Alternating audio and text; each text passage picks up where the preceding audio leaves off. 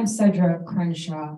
Um, only someone who is grooming a child for sex would put pornographic, sexually graphic, obscene, vulgar material in the hands of a minor child. That's not diversity, that's child abuse. And let's also think about all of the special needs students uh, in the schools who are in no way prepared socially and emotionally to deal with this type of material. I think someone mentioned, you know, what if someone, uh, what if a kid checks out one of these books and, you know, they pass it to a friend? You know, kids are prone to do things like that. Okay, so we have to think about all the kids, including our special needs kids. You know, I filled out one of those forms, request for reconsideration 6.230.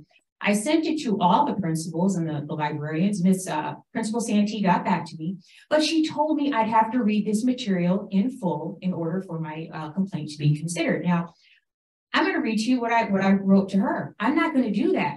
That goes against my religion, and I have a First Amendment right to practice my religion, which includes not consuming obscene or pornographic material. I'm going to tell you the same thing I told the policy committee, and no one here can force me to do that. Uh, you, she cited the language at the top of that form. That language needs to be removed. No one should, should have to read all of that material uh, if it goes against their conscience or their religion.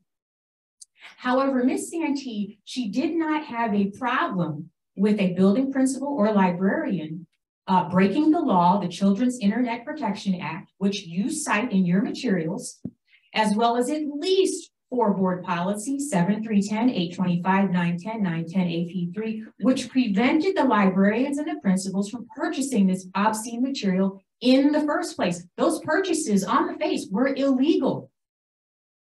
And I asked her some questions. Has she and the librarians, have they read this material in its entirety? Have you on the board, have you read this material? If so, why did they purchase these books? If not, when do they plan to do so?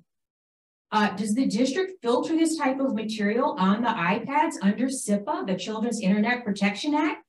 Could you post these photographs on the website or the excerpts? Could you post it in, on the walls in this school? And again, what is your written justification for permitting this material to be purchased, distributed, and accessed by students in this district, knowing it violates policy and the law? And, and I think many parents here tonight and concerned people, they've called for action. We're, we don't want to do this back and forth. We want action on this. I think that's that's reasonable. Are we going to get some action on this?